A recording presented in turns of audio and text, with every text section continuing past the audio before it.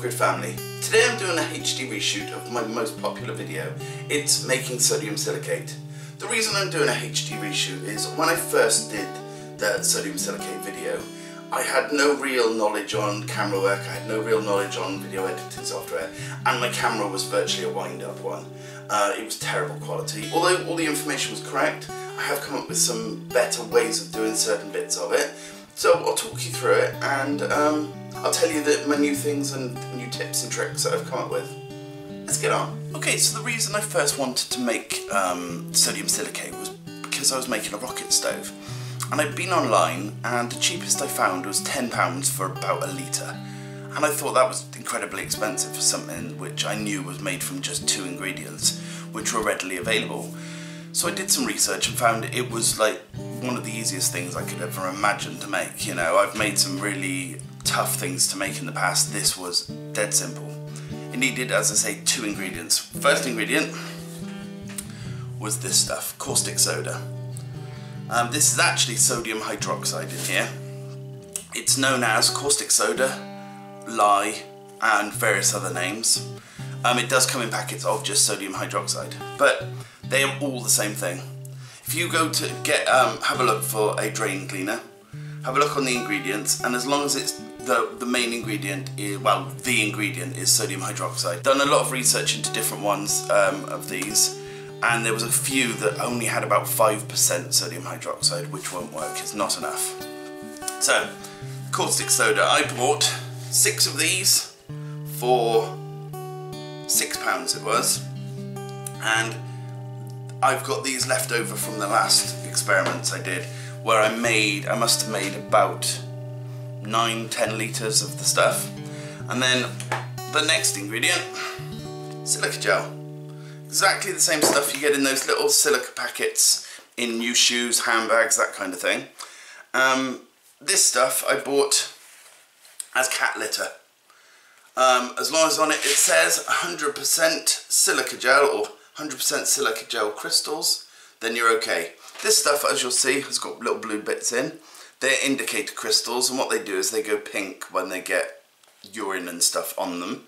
Um, it's to indicate which bits you need to take out of your cat litter. Them being in there, the only thing that will, they will cause is your sodium, um, sodium silicate will go a slight pink colour. It's not a problem at all. It doesn't change the actual composition or how it works at all. So as I say, these are the only two um, ingredients you need. Let's measure them out, shall we? Making sodium silicate is so simple. The hardest thing is remembering the quantities, and that's not hard at all. Sodium hydroxide, 200 grams.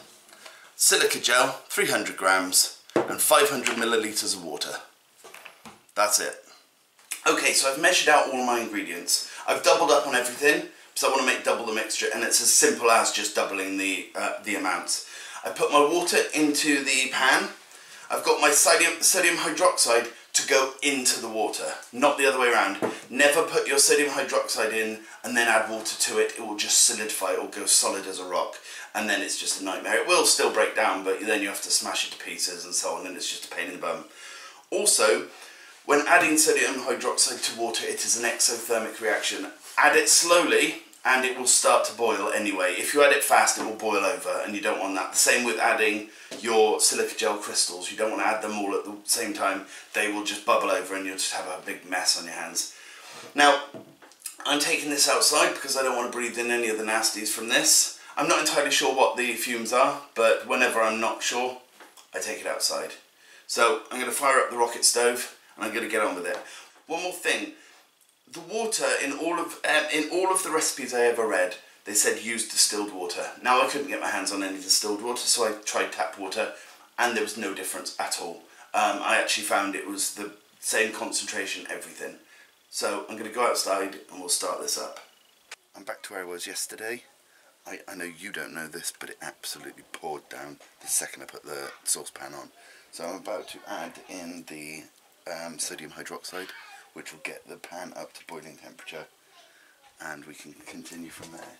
Now like I said before, add it slowly because it will start to boil.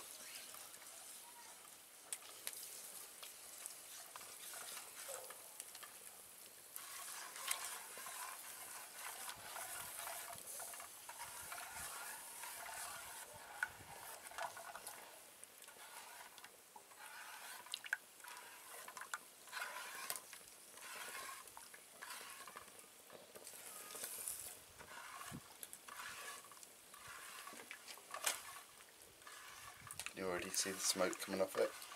The steam, I mean.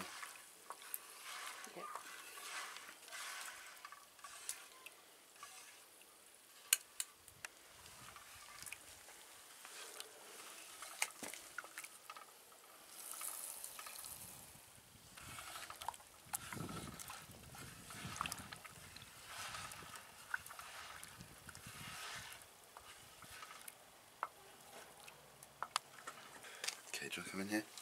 One thing about sodium hydroxide is when it's it's all um, dissolved in, it actually does go see-through. You know, it goes the water goes translucent again, opposed to cloudy.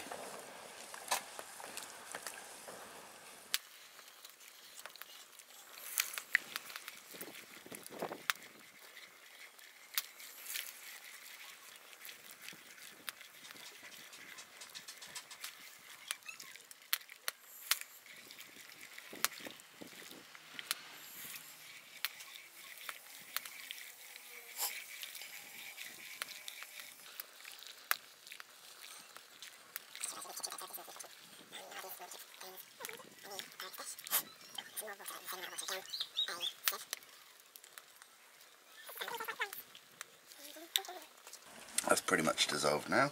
So we slowly start adding the silica gel. If you add it too quickly, it'll just boil over. Can you see that?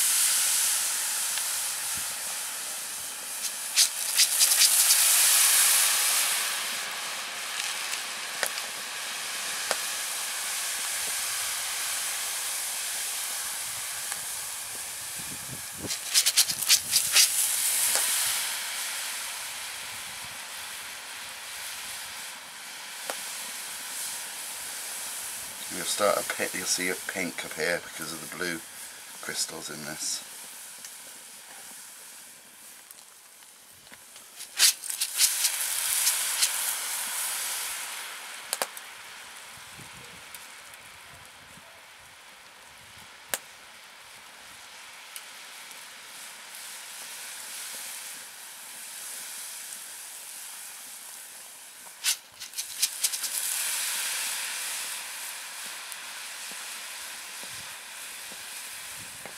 Right, this is too hot now, so I'm going to get it off the heat. Okay, uh, the reason I say it was too hot was it would have just boiled over easily. It still will, even though it's off the heat, so just beware of that. Can you see?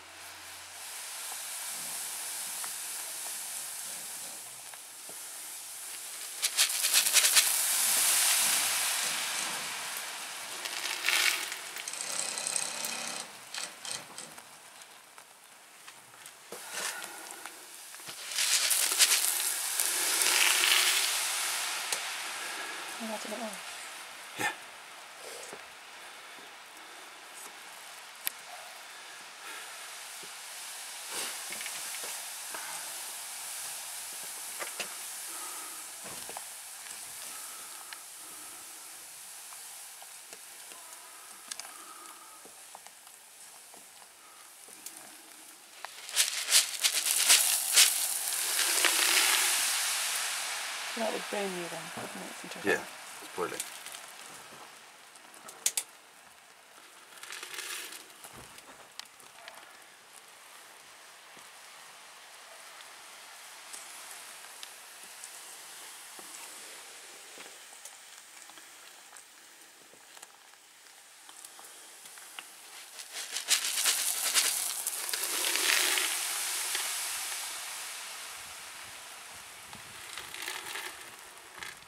Now the liquid is getting thicker, it's like getting stiffer. It's feeding more like uh, honey, like a very liquefied honey at the moment, but it's getting a lot thicker to mix.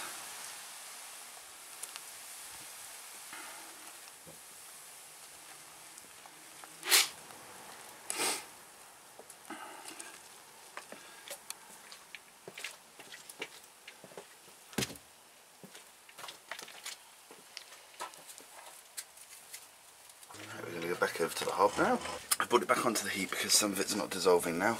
So we want to just bring up the temperature again. It does get to a point where nothing else will dissolve. But it shouldn't be right now. There should be a lot more that will dissolve, hopefully. The more of this we get to dissolve, the thicker it'll be, the higher the concentration.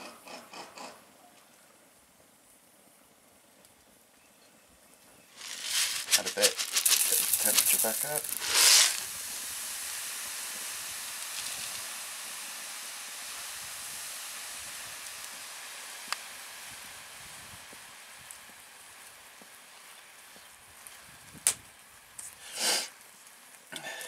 Now there is no way to hurry this point. Whoa, okay.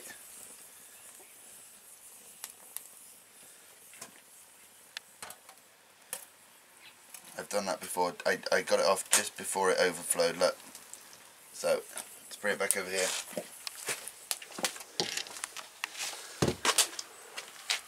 Yeah, where's that plugging it up? Wetwood.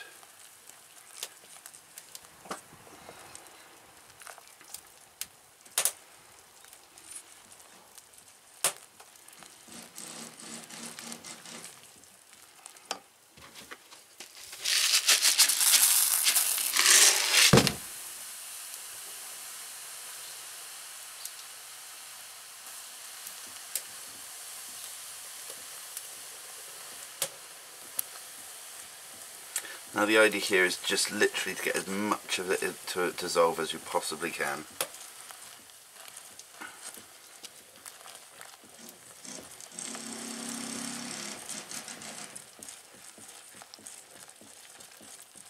What I'm going to keep doing is I'm going to keep going back to the heat source, the rocket stove, and I'm going to keep getting it to just melt a little bit more. But it will get to a point where no more will dissolve in there. I had hoped to get a bit more in, but we'll see.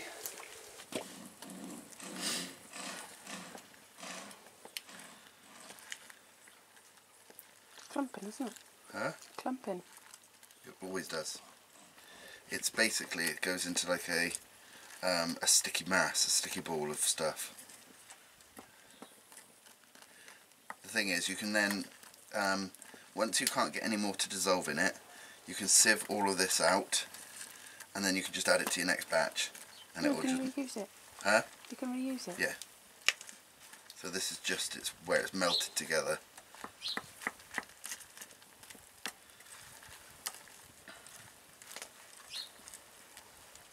Don't want this to boil over, which it keeps trying to do. What would happen if it did boil over? It'll go everywhere. But no fire hazard or anything. No, it's not flammable. It's in fact it's the opposite of that. That's why you use it as a um, as an adhesive for high temperatures.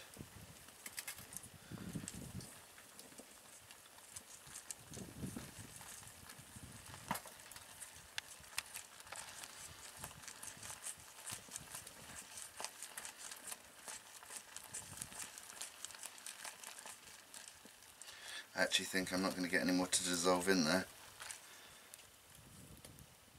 Now if you can keep get on your eye on this drip here, the way to test that you've got a good sodium silicate water glass, take your device up and you'll see that the drips catch on.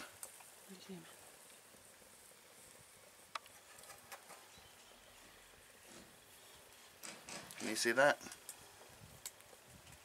The drips catch on the end of the spoon or whatever device you're using to mix, that means you've got a good consistency of it because what's happening is it's reacting with the carbon dioxide in the in the air.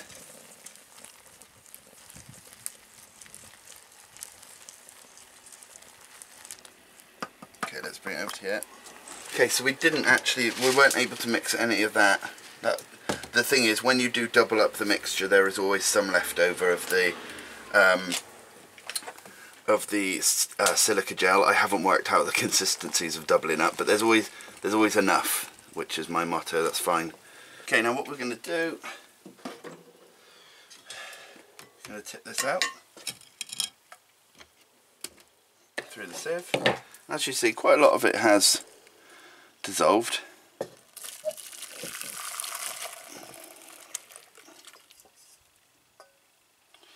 You'll see that the saucepan, if you see all the drips just hanging there, that's how thick our sodium silicate is.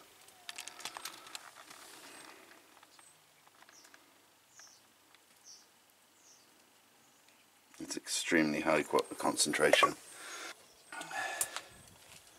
Okay, so that is our sodium silicate and it is super high uh, concentration. If you zoom in a sec, you'll notice that it's already getting a layer where it's reacting. So one thing before we store it, you need to dilute it. So I'm going to put in about the same amount of water again as sodium silicate. Just give it a mix. Now this is at its usable concentration now.